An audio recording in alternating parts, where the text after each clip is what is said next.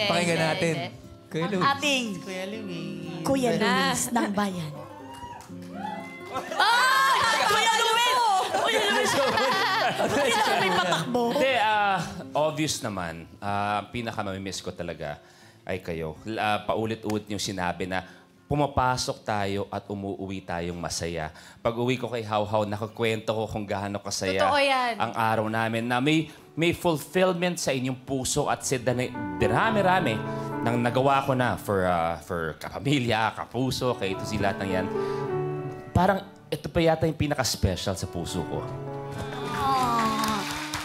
At ang pinakamamiss ko, siyempre, dahil hinahangaan ko sila, kagaya ng sabi ni Melay, ay ang production natin, yung harap at likod ng camera. Kami po, kami lang yung nakikita niyo mukha, kami lang yung boses na naririnig niyo.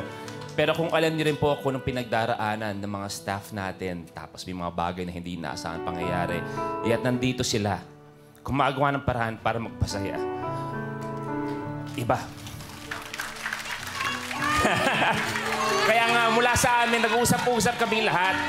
Alam mo, sa, sa, sa closing po namin, ma, dapat gagawin to. Pero nag-uusap-usap kaming lahat na para sa staff natin, dahil kami humahanga sa inyo, magbabaw po kami para sa inyo.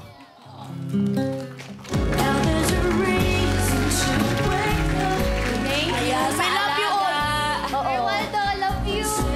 Sobrang Tulong. Uy naman kayo, uy naiyak binabayaran ng 20. Ay! Sa 25 ba papasok Hindi. sila yun? Mahal ko kayong lahat. We love you too, Kuya Ma- alam niyo yan, alam niyo yan, mahal niyo yan. Thank you.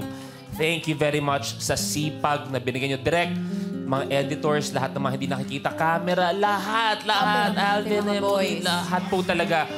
Art Artep, lahat. We appreciate you and we are thankful for each and every one of you. Maraming Thank maraming you. salamat. Thank you so May much. May luha man, mag-attract tayo ng swerte at saya para kayo ang maging... Pamalakasya! Today's your lucky day!